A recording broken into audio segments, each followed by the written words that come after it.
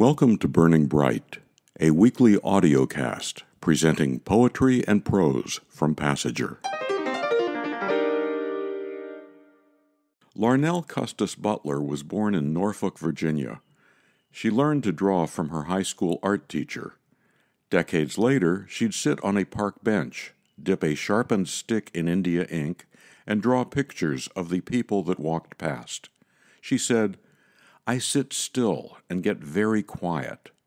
Then a name will come into my mind, and then that person's story will begin to come through me, and I write it down.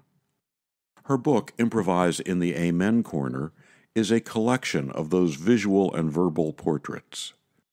Here's one titled Pie Maker Ellen Emily Matthew.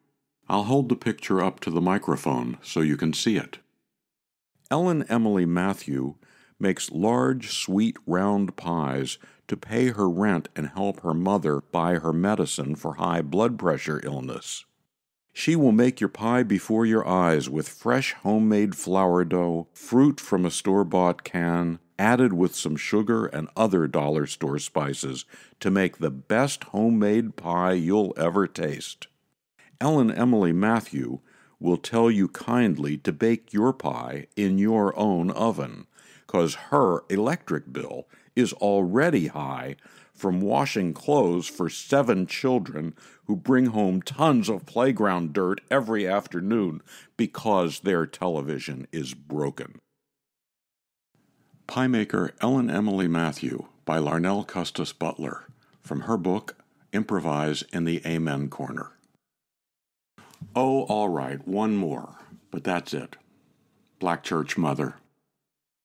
Black Church Mother sits on the first pew of a Baptist church wearing a Sunday hat as wide as her double wide hips, with an extraordinary dress made by her own black hands.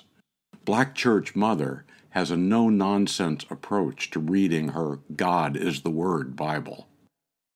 Black Church Mother is definitely black, an agreeable fact. She has not tolerated any other name except black, not a jazzy compound word to hype the meaning of Negro. She has challenged folks who have screwed up her name as well.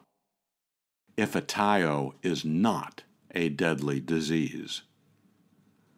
Black Church Mother by Larnell Custis Butler from her book Improvise in the Amen Corner.